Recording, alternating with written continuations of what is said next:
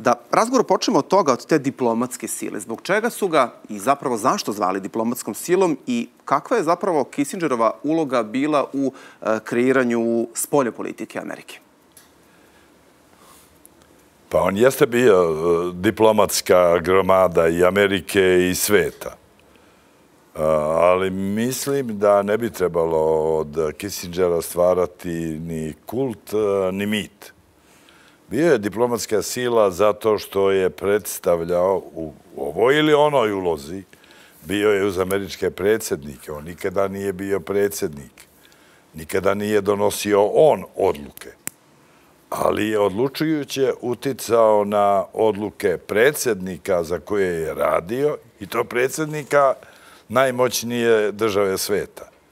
Taj uspon do statusa diplomatske ikone. On ostvaruje negde od 69. pa do 80. godine. To je razblaživanje neprijateljstva sa Kinom, pa onda obustavljanje trke u naoružanju sa Rusijom, SALT 1, pa onda e, je mnogo doprineo načinu na koji će Amerika časno izaći iz Vijetnamskog rata. Odigrao je značajnu ulogu u arapsko-izraelskom miru 1973. godine. E, dakle, e, tada Kissinger postaje e, ikona, zvezda, ali istovremeno zvezda koja ima i svoje tamno lice. Sa jedne strane, on doprinosi miru. On je kreator detanta.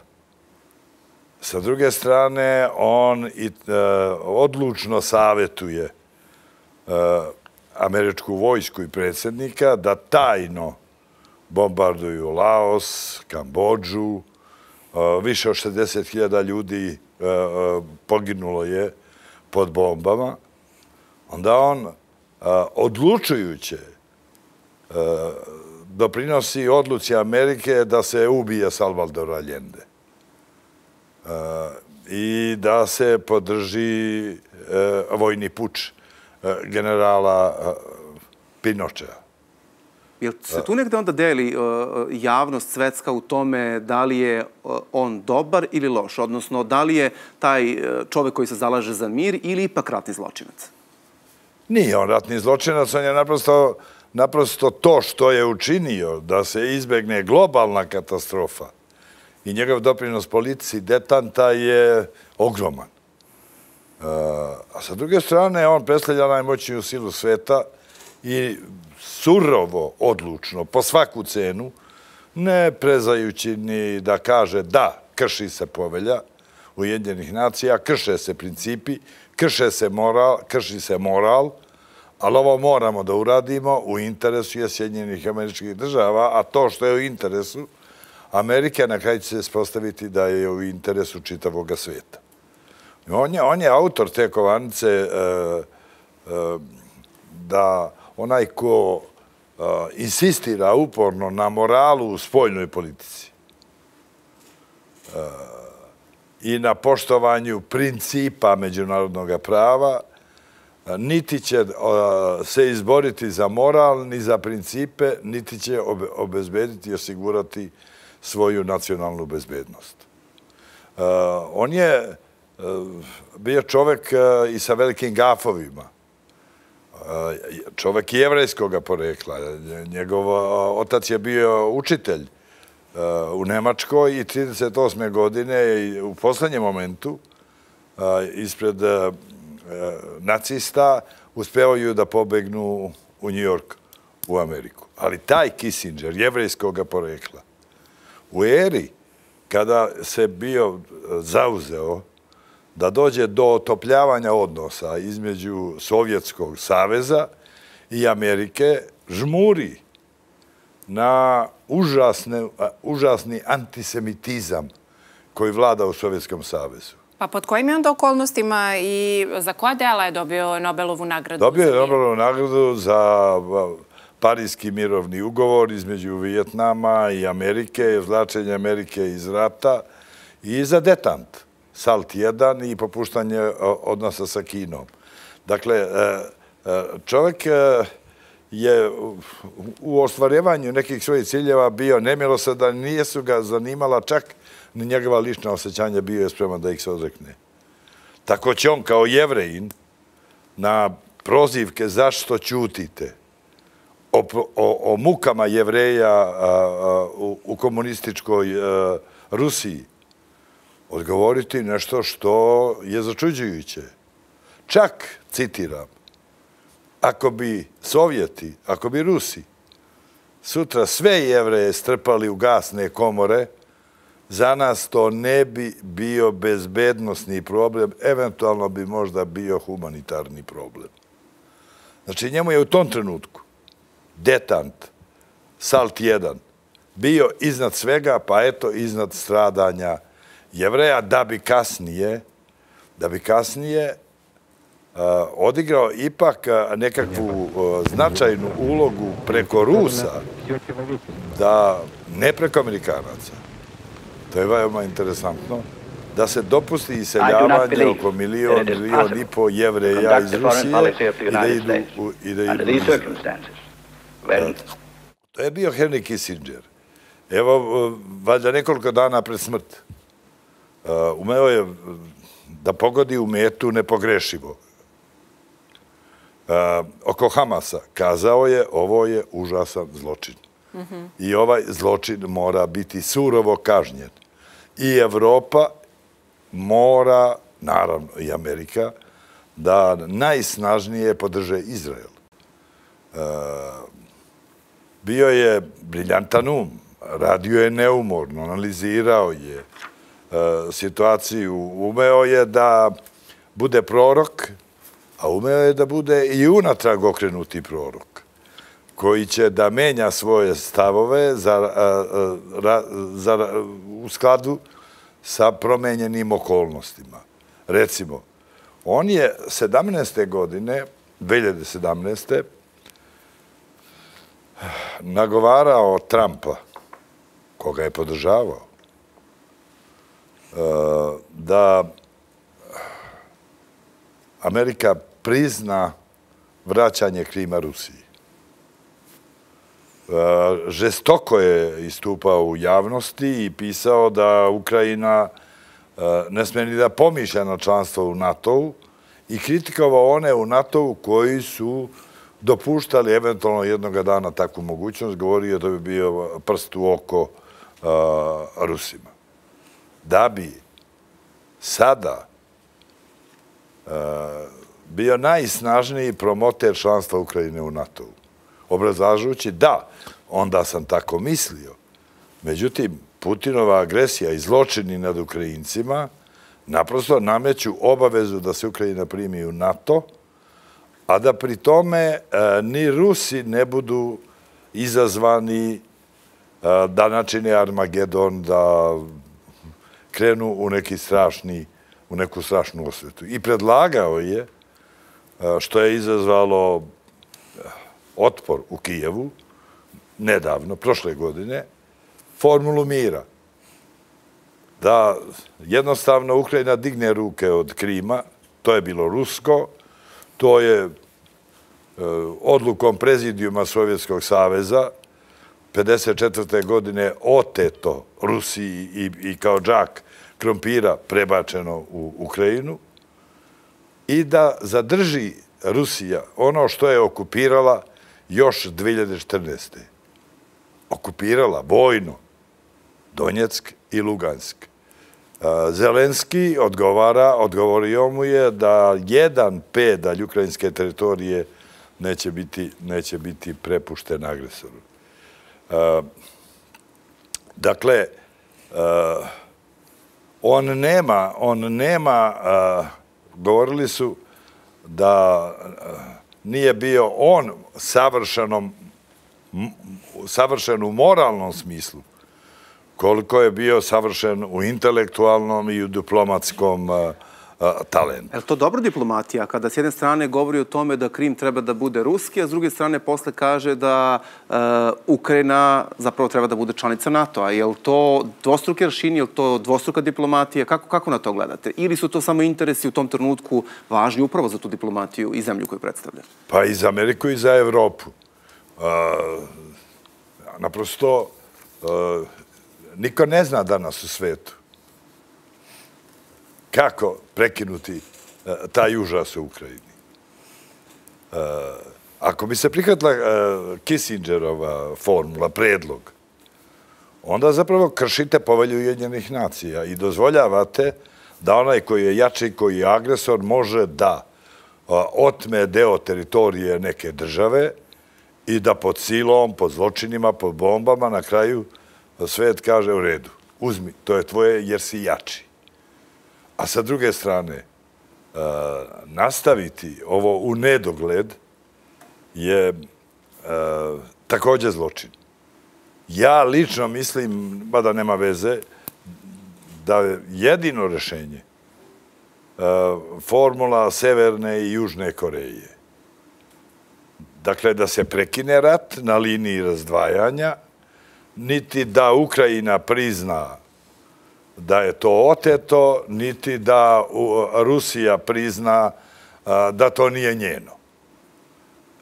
Privremeno dok vidimo koliko će to privremeno trajati, možda dve godine, možda 30 godina, a možda će doći i do smjene u Kremlju. Tamo je ključ. A šta bi se onda promenilo, kad već govorimo? Pa ako bi došla neka, neki novi Gorbačov, neki, neki Willy Brandt ruski, mislim da bi, da bi došlo do izlečenja te ratne rane i da bi se koliko toliko normalizovali odnosi između Rusije i Ukrajine, Rusije i, i, i Evrope, Rusije i Amerike. Uh, ali ne znam, mislim, uh, recimo, Kissinger nikada ovi koji uh, ovdje obožavaju Slobodana Miloševića. Često ističu kako je Kissinger podržavao Miloševića, jer je izjavio Milošević nije Hitler. To je tačno. Izjavio je Milošević nije Hitler nego je Nitkov. A šta to znači? Pa on je obrazložio šta to znači. Rekao je, Hitler je bio ludak koji je imao moć E, da učini zla po celom svetu. E, a ovaj i plan da to učini. A Milošević je ludak koji nema nikakav plan, a čini zlo. A da ima i da ima plan, nema toliku moć da ga ostvarim. Kissinger je e, insistirao na moći države e, kao temeljnom njenom argumentu. I čak je otišao korak dalje. Pa je, na primjer, rekao, moć je e, naj, e, najveći afrodizijak. To su njegove reči. A kakav je stav, evo kada ste već pomenuli ove prostore, kakav je stav bio prema Kissingeru, prema SFRJ i on je evo imao i konkretan stav kada govorimo o bombardovanju, više puta izjavio da je to u isto vrijeme bio i surovi besmislen potez između ostalog Sjedinjenih američkih država. Jeste, ali to ima svoju predistoriju. Kissinger je u svojim političkim ocenama umeo da bude i, e, i revanšista. Eh, Kissinger je 70. bio ovde, tada je bio savjetnik Nixona, kad je Nixon eh, došao u posetu. I neverovatno, evo sad je objavljeno u jednoj knjizi, da on ne samo da je savjetnik Nixonu, i sa njim je, nego mu je i to malo, nego je čitav esej napisao šta, Kisi, šta Tito, šta Kissinger, ovaj Nixon, mm -hmm ne sme reći Titu šta mu treba reći i na koji način. Da ga, savjetuje ga, ne, bez obzira što se Tito odvojio od Rusa, njegovo je, njegovo je srce u, u Kremlju. Ruka mu je u našem džepu, u našoj kasi, a, Ali i kad govorite o našoj pomoći, ne govorite da je to pomoć, nego da je saradnja. Nemojte mu trljati nos zbog njegove velike greške 67. kad su četiri arapske armije napale Izrael sa planom da unište Izrael i jevreje, da nestane te, tog naroda i te države, Tito je podržao taj napad i prekinuo diplomatske odnose sa Izraelom. Ovi je savjetovo, verovatno on shvata reći o Titu da je pogrešio, ali nemojte mu to nabijati na nos, on to ne voli. Nemojte mu mnogo hvaliti politiku nesvrstanosti, jer on dobro zna da te nesvrstanosti ne bi bilo bez naše vojne podrške, jer mu mi čuvamo leđa, a on ima stalni strah od Rusa da ne uđu. E sad, Nixon ga je slušao i poslušao i posjeta je, ja se nje dobro sećam, iako sam tada bio u vojsci ovde u Beogradu, u redakciji Lista Vojnik. I mi smo bili šokirani onim što je Nixon izgovorio u Zagrebu. On je prvo bio u Kumrovcu, posjetio rodnu, rodnu kuću Titovu, pa je onda bio u Zagrebu. I u Zagrebu on 70. godine usklikne duh Hrvatske je večer. Živela Jugoslavija, živela Hrvatska. I malo je i to bilo, nego je izgovorio nešto što je ovde prećutano. Rekao je, prvi put sam u zemlji koja ima dve prestonice. Beograd i Zagreb. A šta je bio cilj takvog govora? Pa Kissinger mu je posle toga, to, to mi je uh, Baker pričao 92. u Nisi imao priliku da lično sa Kissingerom popričam. Kissinger e, nije bio zadovoljan tim, tom rečenicom. Kissinger je snažno podržavao tu ideju Amerike 90. godine da se nađe način da prečicom e, e, Jugoslavija, da bi se spasila, uđe u Europsku zajednicu i u NATO. I Baker je došao sa tom idejom ovde, iz Evropske zajednice je stigla ta ponuda, ovaj, ali ovdje je Baker odbijen pre svega od Miloševića i od jugoslovenskih generala, što je ražestilo Kissingera i on će tada kazati Amerika mora da se povuče. Pustimo ih. Neka rade šta znaju. Prepustimo to evropljanima. Međutim, kad je počeo rat u Bosni i kad su sledili zločini na, eh, u Bosni, Kissinger eh, će, ta isti Kissinger, kazati činimo grešku što smo se povukli. Prvo ih je savjetovao da dignu ruke od Jugoslavije, a posle je rekao Amerika mora da se vrati, jer ovo se nikad prekinuti neće dok se mi, dok se mi ne vrati. Da li čini se da, da, da su stavovi bili da se vrati, ali ne na način na koji se vratila, zato što on više puta, evo da pomenemo, bio protiv bombardovanja, rekao je da je u isto vrijeme to bilo surovo, besmisleno i nekako je jedinstven e, prema stavu kada govorimo o diplomatama. Dovodio je javno u pitanje smisao i efekte bombardovanja, ali i odnosa Srba i Albanaca. Nije do Kissingerovih osjećanja nikada stizalo bilo, bila, bilo, bilo, bila kakva patnja ili osuda zločina koje je režim Miloševićev činio nad Albancima. E, ako njega kao jevrejina nije bolilo e, ono što se radi prema jevrejima u Sovjetskom savezu, baš ga je bila briga zato da li ima zločina nad Albancima ili ne. I zato je on osudio bombardovanje, Dok, ali kad je bombardovanje počelo, ta isti Kissinger će snažno da podržava bombardovanje, da sa obrazloženjem da se sada mora čuvati kredibilitet NATO-a. Jer ako NATO ne uspe u toj akciji, onda je to propast NATO-a, a propast NATO-a je propast i Evrope.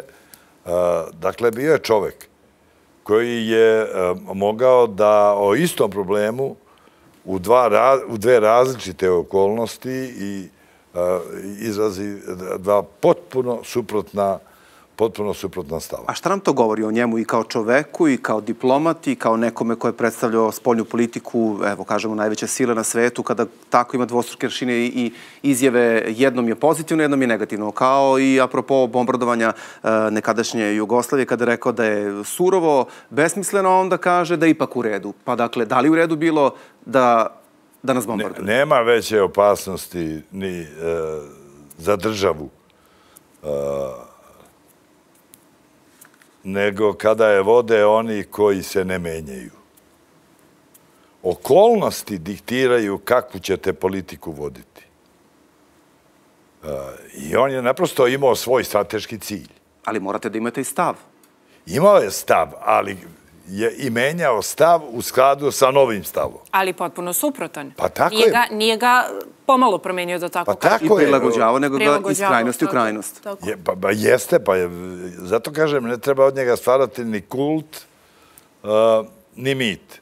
On i jeste diplomatska uh, ikona.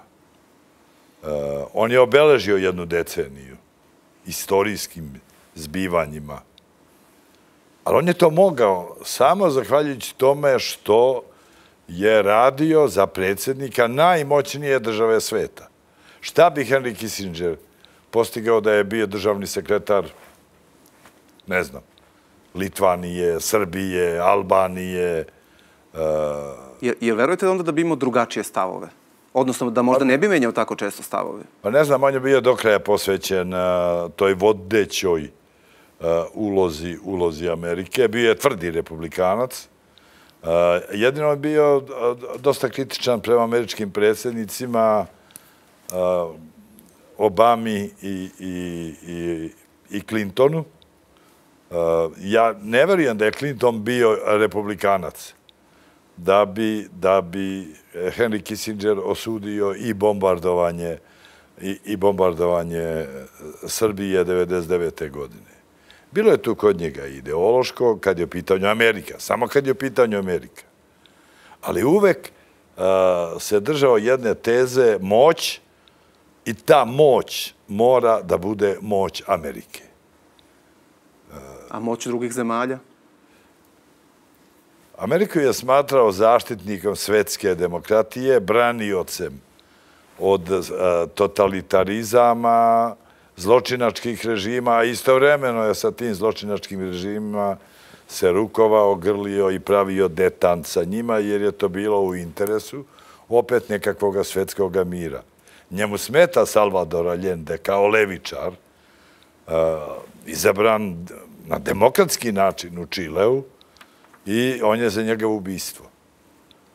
Odnosno za vojni puč a istovremeno e, e, će otići stotinu puta tokom života u Kinu, koja je naročito tih 70-ih, 80-ih godina bila logor strašne diktature, zločina i ljudske bede. E, A ako se ponovo vratimo na, na ove prostore, postoji još jedan njegov stav, pa evo da ga i prokomentarišemo, koji se tiče Južne Srpske pokrajine i on je nekako zdušno zagovarao da e, će Kosovo trovati međunarodne, e, odnosno stanovnici Kosova i Metohije trovati međunarodne odnose između ostalog. I, I često je komentarisao e, položaj srpskog stanovništva. Jeste, ali Eh, eh, izjava Henrya Kissingera i odnos taj prema Albancima eh, nikako ne može nimalo da okrnji onu činjenicu da je rezolucijom 1244 Saveta bezbednosti zbog zločina počinjenih nad Albancima Srbija proterana sa Kosova. Pa da li on je govorio o etničkom čišćenju srpskog stanovništva? Pa naravno, ali to je sve istina. Međutim, šta mi možemo uh, sa stavom Henrya Kissingera sada da radimo? Šta? Da poništimo rezoluciju 1244? Uh, e, da negiramo činjenicu da su 98. tri rezolucije Saveta bezbednosti Ujedinjenih nacija donete bile gde se Srbi, režim Miloševićevo pominje, upozorava da prekine teror nad kosovskim Albancima, inače će uslediti e, e, primjena poglavlja sedmog povelja Ujedinjenih nacija kada je dozvoljena međunarodna upotreba sile. E, ali kad je u pitanju diplomatija, e, moramo e, i tu funkciju koju je obavljao Kissinger posmatrati kao funkciju nekoga koje je nekada donosio odluke, nekoga koje je kasnije o svemu pisao, govorio, komentarisao. Je li bio za neke stvari u pravu? E, ali je nekada bio u pravu, nekada nije bio u pravu. Imao je sreću da je živeo u Sjednjim američkim državama i da nije bio izložen e, nikakvom toplom zecu, niti ignorisanju. I kad se ljudi nisu slagali s njim, volili su da čuju šta kaže Henry Kissinger i da polemišu sa njim, ali to je Amerika. E, osim toga, u politici ne treba sve primati ni, ni ozbiljno. E, na vest o njegovoj eh, smrti. Meni je, verujte, prva pomisao bila umro Meternih. Ono što je bio austrijski ministar spoljnih poslova, Meternih, u prvoj polovini 19. veka. Bio je Henry Kissinger u drugoj polovini 20. veka. Sad, evo prilike eh, da ispričam jednu anegdotu vezanu za tog velikoga meternika koji je bio austrijski ministar spoljnih poslova. Kao što je Kissinger pravio sporazume sa Rusijom SALT 1, tako je meternih sa carem ruskim stvarao svetu alijansu protiv Napoleona. A kada mu je ruski ministar spoljnih poslova krenuo, došao, krenuo u posetu, imao je srčani udar i bilo ga je srce. 100 km na prilazima Beču. Kad su javili Meternihu, šta se desilo, njegova reakcija je glasila ovako. Morat ću da razmislim šta je hteo time da postigne. Da, mnogo, je, mnogo smo otvorili i pitanja, neke odgovore smo dobili, ali u svakom slučaju o stavovima Henrya Kissingera će se sigurno još dugo polemisati. Kažete, to je osoba koja je nekada odlučivala o nečemu, ali upravo vrlo oprečni stavovi o kojima govori. Da, da. I dobrih i loših odluka, odnosno dobrih i, loših strana. I, I čitaće se i analizirati i sve ono što je pisao i govorio sve do smrti. Ali što kažete... A, radio je do posljednjega dana. To je neverovatna energija bila. Da, govorit ćemo, verovatno, i prisjećat ćemo se još uh, mnogih stvari koje je uradio ili nije uradio ili je trebalo da uradi. Uh, hvala vam mnogo za sada za izven, na izvene vremenu i na gostovanju.